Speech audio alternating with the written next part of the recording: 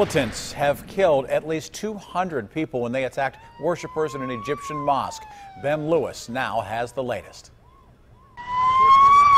There was confusion and panic outside the mosque after Egypt's deadliest ever terror attack. Worshippers were praying when militants detonated a powerful bomb. As people ran, they were gunned down by attackers in off road vehicles parked outside.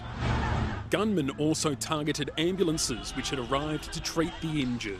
The terrorists blew up parked cars to block escape routes. The attack happened in the North Sinai region where the Egyptian government has been fighting Islamic insurgents. Egypt's president promised a brutal response and declared three days of mourning. No group has claimed responsibility, but authorities believe an Islamic State affiliate may have been behind the massacre.